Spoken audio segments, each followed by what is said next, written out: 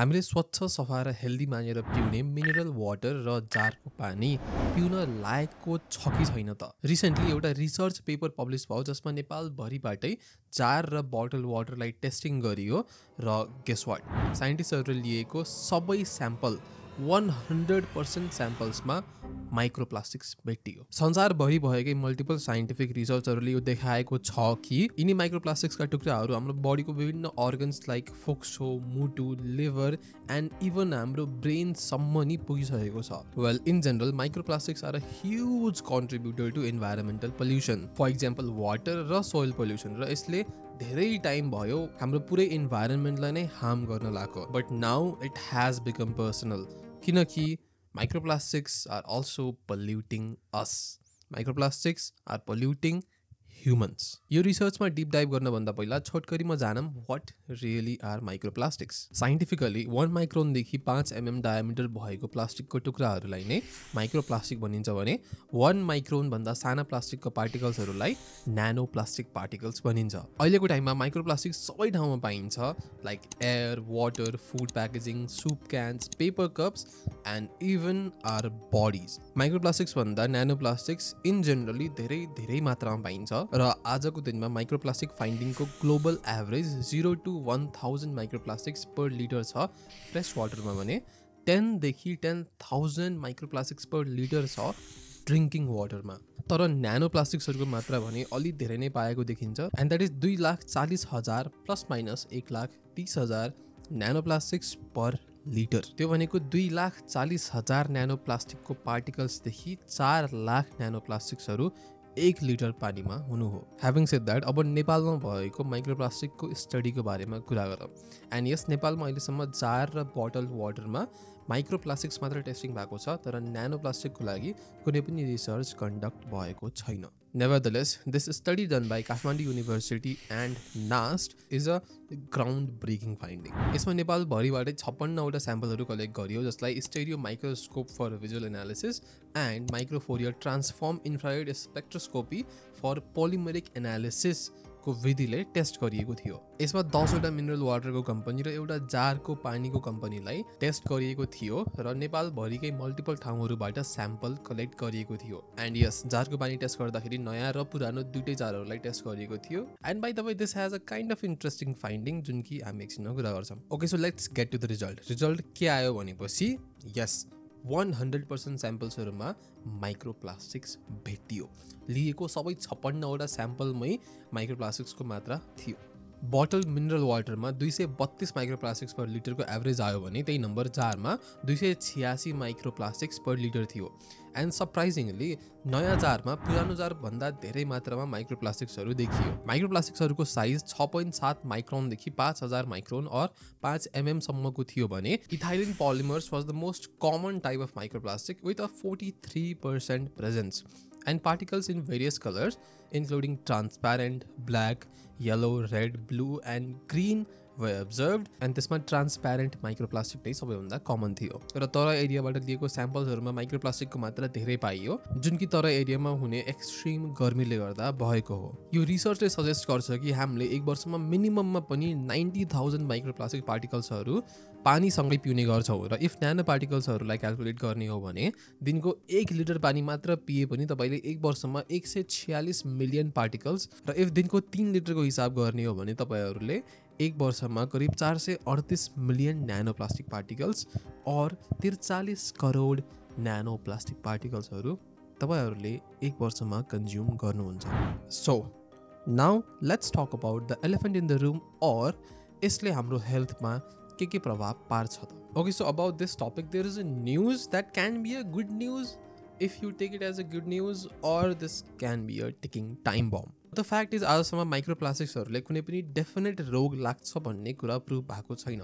माइक्रोप्लास्टिक्सले गर्दा नै यो यो यो यो रोगहरू लाग्छ भन्ने कुरा साइन्टिस्टहरूले अहिलेसम्म प्रुभ गरेका छैनन्। तर सर्टेन रोगहरू लाग्दाखेरि त्यो मान्छेमा माइक्रोप्लास्टिक्सको मात्रा अलिक बढी चाहिँ देखिएको छ। सो अहिले मैले प्रेजेन्ट गराउन लागेको जति पनि कुराहरू छ about health effects of microplastics यो सबै कजेटिभ एभिडेन्स होइन आर को रिलेटिभ एभिडेन्सेस र भिडियोको यो पार्टको direct source is doctor Andrew ह्युबरम्यानको Huberman lab पडकास्टको यो episode there can not be a better source than this यो एपिसोडको कम्प्लिट ट्रान्सक्रिप्ट एन्ड त्यो ट्रान्सक्रिप्टको समरी तपाईँले डिस्क्रिप्सनमा पाइहाल्नुहुन्छ माइक्रोप्लास्टिक्स र न्यानो प्लास्टिक्स आजसम्मको साइन्टिफिक स्टडिजको अनुसार हाम्रो बडीको लगभग सबै पार्टमा पाइएको छ। For example brain lungs blood semen placenta testicles ovaries and liver यो हाम्रो बडीमा श्वास फेर्दा खाना खाँदा पानी पिउँदा र डिरेक्ट कन्ट्याक्टको माध्यमले इन्टर गर्ने गर्छ।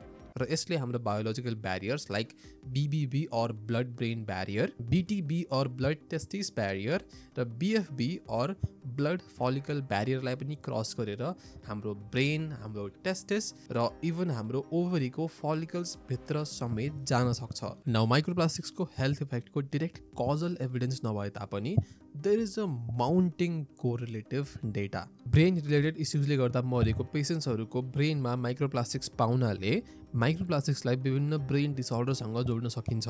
बिपिए बिपिएस थ्यालेट्स जस्ता माइक्रोप्लास्टिक्सहरूले हाम्रो बडीमा हाम्रो हर्मोन्स लाइक इस्ट्रोजेन र टेस्टोस्टेरोनलाई मिमिक अर ब्लक गरी बडीमा हर्मोनल प्रब्लम्सहरू क्रिएट गर्न सक्छ। मल्टिपल स्टडिजहरूले higher microplastic एक्सपोजरलाई lower testosterone lower sperm count and मोटिलिटीसँग पनि लिङ्क गरेको छ। पेटको समस्या जस्तै इरिटेबल बाउल सिन्ड्रमको पेसेन्टहरूको दिशामा पनि माइक्रोप्लास्टिकको मात्रा धेरै देखिएको छ। पोलिथाइलिन जस्ता प्लास्टिक्सहरू क्यारोटिड आर्टरीको प्लेक्समा पाइएको छ जसले आर्टरीलाई ब्लक गरेर हार्ट एट्याक गराउन सक्छ।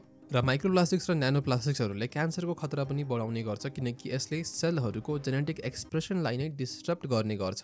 र यसले गर्दा hormone sensitive areas like breast testes ओभरीहरूमा पनि क्यान्सरको रिस्क बढ्न सक्छ। So what can we do about it well यो माइक्रोप्लास्टिक पेन्डेमिकलाई सल्भ गर्नलाई यसको कजमा नै एक्ट गर्नुपर्ने हुन्छ। नेपालको केसमा कुरा गर्नुपर्दा यहाँ बसेर मिनरल वाटर र जारको पानीलाई अभोइड गर्न सकिन्न। सो माइक्रोप्लास्टिक्सलाई फिल्टर गर्ने रिभर्स अस्मोसिस वाटर फिल्टर्सहरू युज गर्ने। अल्दो हामीले यो भिडियोको रिसर्च गर्दाखेरि र यो रिसर्च पेपर पढ्दाखेरि यसमा पनि विभिन्न जार र बोटल वाटरको कम्पनीहरूले जसबाट स्याम्पल लिइयो र माइक्रोप्लास्टिक्स भेटियो तिनीहरूले पनि रिभर्स अस्मोसिस मेथड युज गरेर वाटर फिल्टर गरेका थिए। स्टिल माइक्रोप्लास्टिक्स तिनीहरूको पानीमा भेटियो।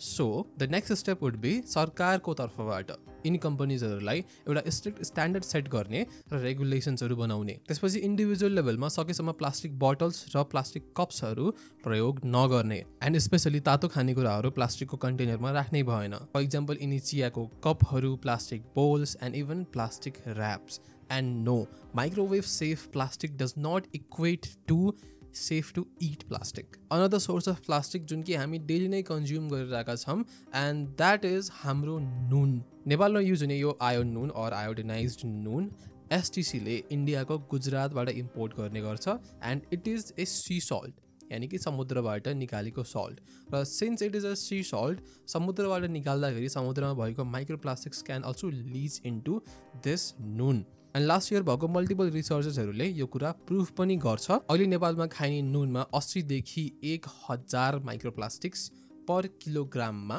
पाइने गर्छ। र यो सबै कुराहरू हाम्रो सरकारलाई थाहा हुँदा हुँदै नेपालमा अहिलेसम्म पनि एउटा पनि माइक्रोप्लास्टिक टेस्टिङ ल इस्टाब्लिस गरिएको छैन। न त कुनै ल छ न त कुनै रेगुलेसन नै।